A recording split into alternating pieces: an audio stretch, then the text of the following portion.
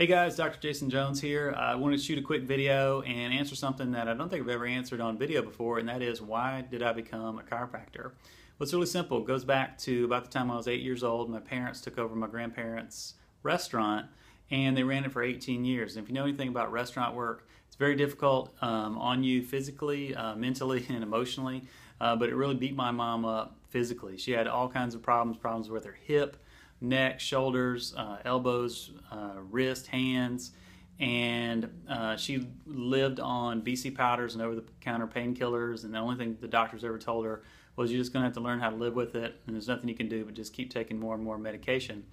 And somebody finally told her to go see a chiropractor, and chiropractic was the only thing that allowed her um, to keep working, and it gave her her life back. And I said, well, if it can give her her life back, she's not the only one. And it motivate, motivated me to become a chiropractor.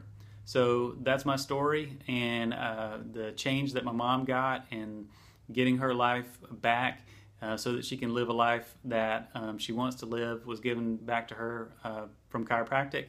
And I'm just happy to be able to do that for people every single day.